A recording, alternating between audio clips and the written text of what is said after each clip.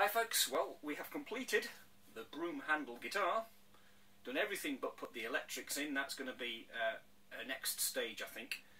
Um, I felt um, it was important just to get the thing working so that it works as an instrument and the whole point of having this kind of resonator was that it would work acoustically and it certainly works acoustically.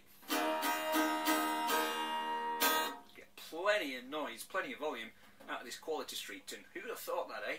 Um, not bad for what was probably two to three hours work. Took a lot less time than I thought.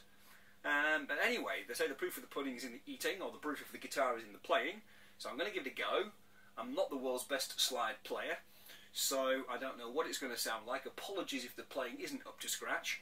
I'll certainly need to practice, but um, we're going to have fun doing it. So let's give it a go and see what it sounds like.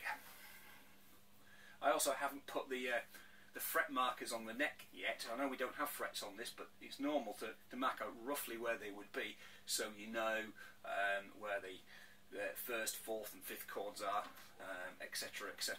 Et let's give it a go.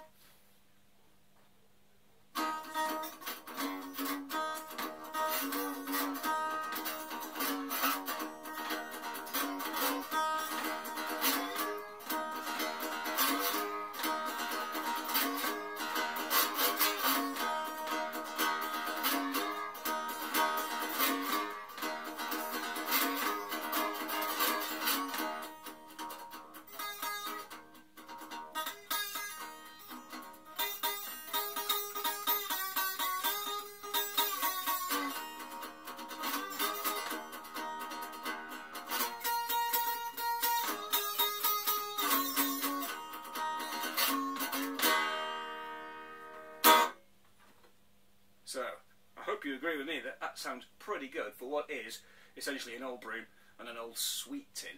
Um, if you've not had a go making something like this yourself, have a go. It's great fun. Um, fun to make, fun to play, and you don't need to be a, a, massively amazing musician to kind of get some noise out of it, really. Um, this won't be the last one I make. There, will be many, many more, I'm pretty sure, because they're, they're great fun to do. So, yeah, thanks very much for watching this video. And please feel free to comment, rate, subscribe, and make sure you have a nice day.